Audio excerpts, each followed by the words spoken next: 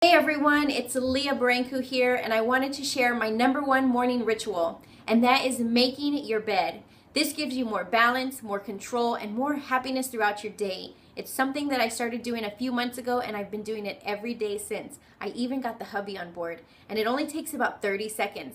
Try it out and let me know how this works for you. If you would like more health, fitness, or lifestyle tips, follow me on Facebook at facebook.com forward slash Leah B Fitness.